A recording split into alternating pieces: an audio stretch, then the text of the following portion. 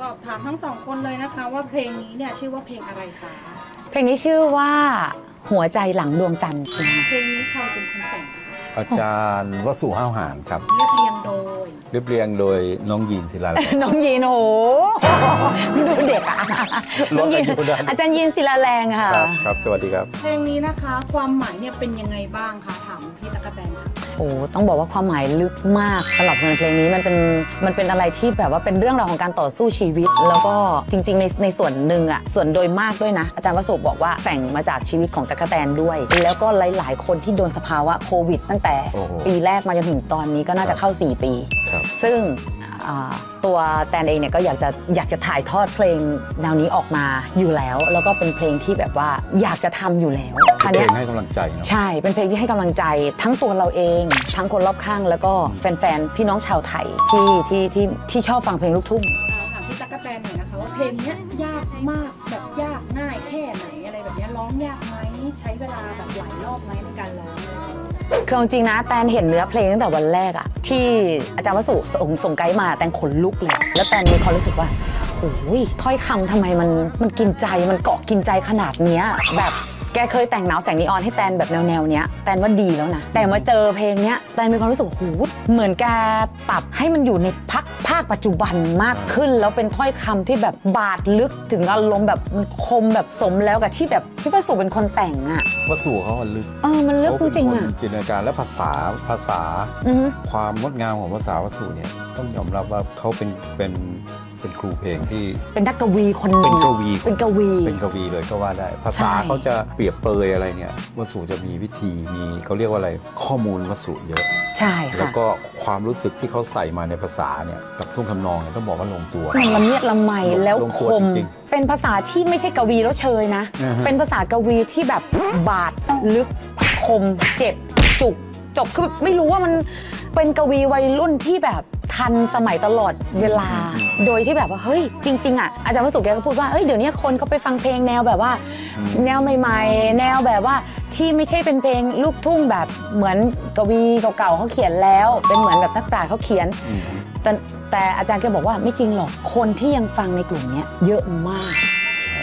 อย่างแตนเนี่ย ทุกวันเนี่ยแต่ยังไปย้อนฟังเพลงเก่าๆแล้วอืมรู้สึกอืมแฮปปี้รู้สึกมีความสุขมาก แล้ววันเนี้ยเราได้มีโอกาสได้ถ่ายทอดตรงเนี้ยแล้วคนที่จุดประกายในเพลงเพลงนี้ก็คือพี่เอสุภชัยเนี่ยต้องขอบคุณพี่เอหรือว่าคุณแม่เอของหนูนะคะขอบณรับขอบคุณที่มีโอกาสให้หนูได้ทำงานตรงนี้ คือจุดประกายตรงเนี้ยพี่เอเนี่ยแกเป็นคนที่ชอบเพลงหนาวแสงนีออนอ๋อ แล้วแกก็นึกขึ้นมา คือเราคุยกันไปในฐานะแบบว่าอืมเอออมเป็นพี่น้องเป็นแม่เป็นลูกอะไรอย่างเงี้ยครับก็คุยแบบเออเมาส์กันไปเมาส์กันมาพูดถึงเรื่องเพลงหนาวแสงเนี่ยเออเรามาทำเพลงดีกว่าแตนอะไรอย่างเงี้ยเอาง่ายๆอย่างนี้เลย ใช่ทำเพลงทำเพลงดีกว่าแตนเดี๋ยวแม่จ่ายทุกบาทโอ้โหเสร็จปุ๊บแกบอกเลยนะว่า แม่ขอแบบนี้แบบนี้นะ เอาเพลงเอาแบบให้คนที่ต่อสู้ชีวิตนั่งร้องไห้น้ำตาไหลเลยฟังแล้วน้ำตาไหลหนูก็เลยไปบีบพี่วสุพี่วสุก็เลยเขียนออกมาเป็น หัวใจหลังดวงจันทร์โอ้โหแค่ชื่อเพลงอะคำว่าหัวใจหลังดวงจันทร์เนี่ยมันเจ็บมากเลยนะมันคือ เป็นความรู้สึกของความกดดันของคนคนสองฝากอือฮึของดวงจันทร์เนอะที่ต่อสู้ชีวิตอะใช่ใช่คือถ้าพูดง่ายๆอะเอาจริง ๆ อยู่อยู่หน้าดวงจันทร์เนี่ยก็ยังไม่ได้แสงสว่างเท่าพระอาทิตย์นะอืมอยู่หน้าดวงจันทร์นะ แต่เนี่ยอยู่หลังดวงจันทร์ที่มันมืดมนอะเอ่อ ชีวิตคนต่างจังหวัดอะที่ว่าอ๋อคนคือคนต่างจังหวัดเนี่ยเข้าใจเลยความรู้สึกความรู้สึกนี้ ความอือฮึรู้สึกของความกดดันของการแบกภาระทั้งในเมืองแล้วแบกภาระของคนที่อยู่ต่างจังหวัดใช่ญาติพี่น้องพ่อแม่ลุงอืมป้าน้าอาเนี่ยความรับผิดชอบสูง ใช่ใช่แล้วก็ตัวพี่ว่าเพลงกลุ่มเนี้ยแน่นอนแล้วมันอยู่กับทุกยุคทุกสมัยอือฮึ แล้วก็ช่วงโควิดที่ผ่านมาต้องบอกว่ากำลังใจของของพี่น้องชาวไทยเราเนี่ยค่อนข้างจะหดหายไปเยอะละสัมละสายกันหมด สะเทือนตั้งแต่ลากย่าลากยันย่าถึงถึงถึงยอดปลายย่าอ่ไปนู่นแหละคือครับเห็นเห็นได้หลายที่ว่ามีหลาย ๆ สถานที่ปิดกันไปเยอะแยะปิดกันเยอะผับบาร์อะไรปิดร้านเลิ่นปิดกันหมดแม้ แต่ตัวคนในวงการอย่างพวกเราเองเนี่ยสั่นสะเทือนกันไปทั้งวงการ คือแม่ค้าออนไลน์ขึ้นรึบรึบหัวหัวหกก้นควิดกันหมดอัดเสียงพี่ก็ทำธุรกิจห้องอัดเสียงก็อัดเสียงก็ไม่ได้ ไม่ได้ทำอะไรไม่ได้เลยทำอะไรไม่ได้เลย ใช่แต่ว่ามันก็ไม่ใช่ไม่ใช่เวลาที่เราจะต้องมาโทษฟ้าโทษดินโทษรัฐบาลหรือโทษใดๆทั้งสิ้น เราก็ต้องต่อสู้ใช่ไม่ว่าจะอยู่ในสถานะไหนยุคไหนเวลาไหนก็ตามนี่แหละพี่เอสุภชัยก็เลยเป็นคนที่เอ่อ คครีเอทเพลงเพลงเนี้ยมาแล้วตั้งเป็นหัวข้อว่าจะต้องเป็นเพลงแบบนี้ เพื่อให้แตนเนี่ยไปบรีฟอาจารย์วสุว่าเอาแบบนี้นะโอ้โหหลังจากนั้นเนี่ยอาจารย์วสุใช้พลังลมปาน 2 วันแต่ง แต่ว่าก่อนได้หหนั้ลับนได้นอนไหมนั่นน่ะก็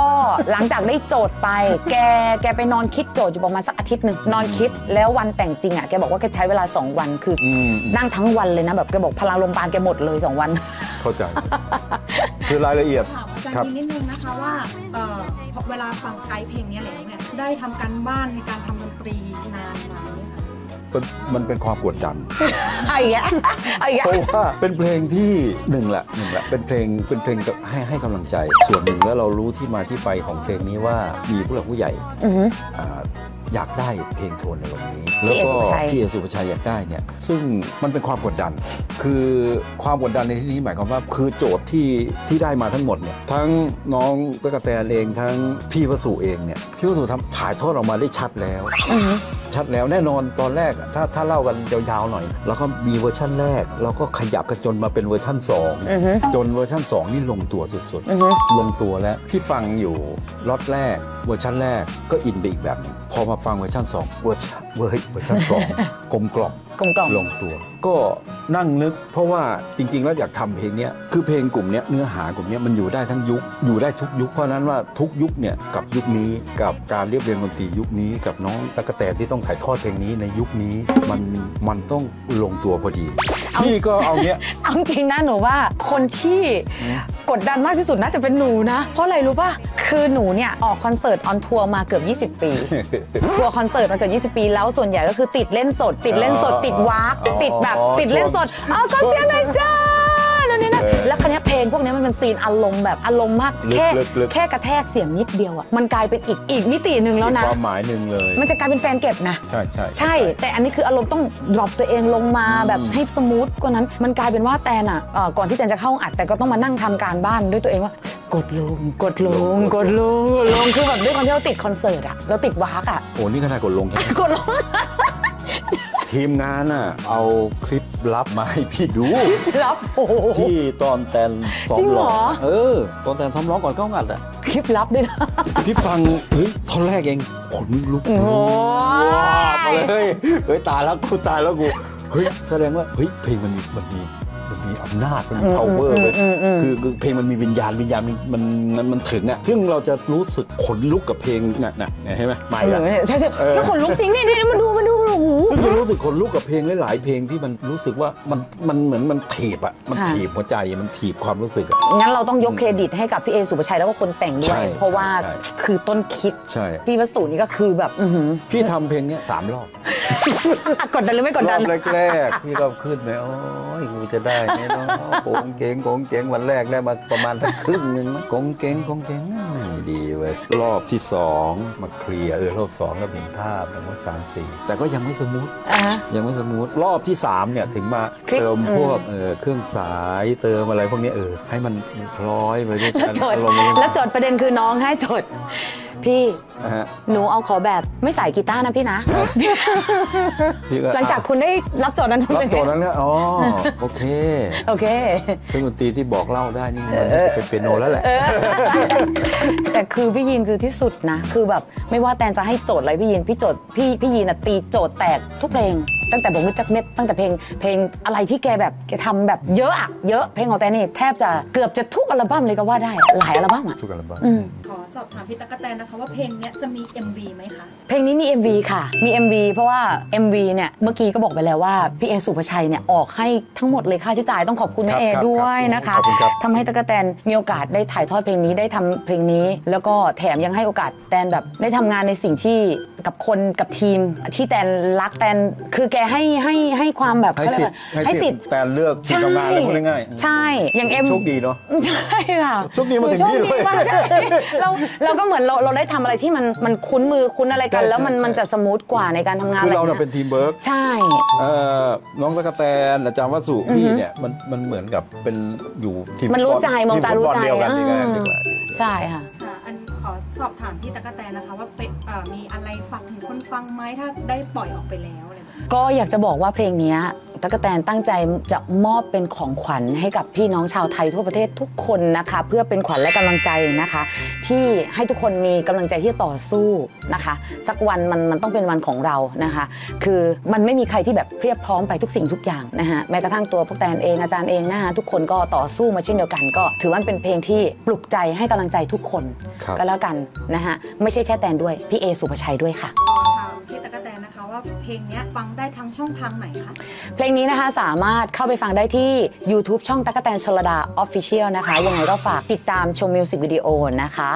แล้วเพลงนี้คือขนลุกมากนะคะ แล้วเป็นเพลงที่แตนอินมาก อยากจะให้เพลงนี้อยู่ในใจของคนไทยตลอดไปค่ะ สุดท้ายนี้นะคะให้ฝากผลงานเพลงนี้เลยค่ะ ค่ะ ก็เป็นเพลงที่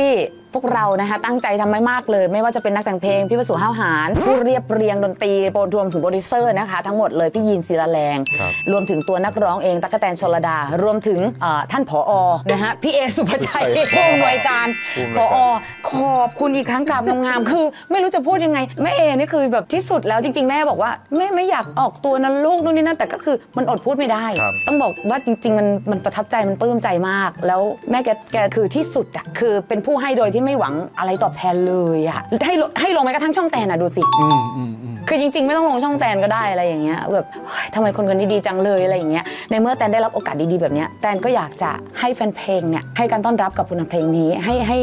ให้ให้พี่เอได้ชื่นใจ ไม่ใช่แค่แตนไม่ใช่แค่ทีมงาน ไม่ใช่แค่อาจารย์วสุไม่ใช่แค่พี่ยีนพี่เอสุภชัยผู้ที่แบบควักจ่ายทั้งหมด เพราะว่าการที่จะทำงานเพลงออกมาสำเร็จทุกสิ่งทุกอย่างนะฮะก็ต้องมีค่าใช้จ่าย มีทุกสิ่งทุกอย่างค่าเหนื่อยเนาะทีมงานนู้นนี่นั่นถ่ายเอ็มวงเอ็มวีอีกนะคะก็ไม่ได้จบเพียงเท่านี้ ยังไงก็ขอกำลังใจจากทุกคนด้วยกันละกันค่ะ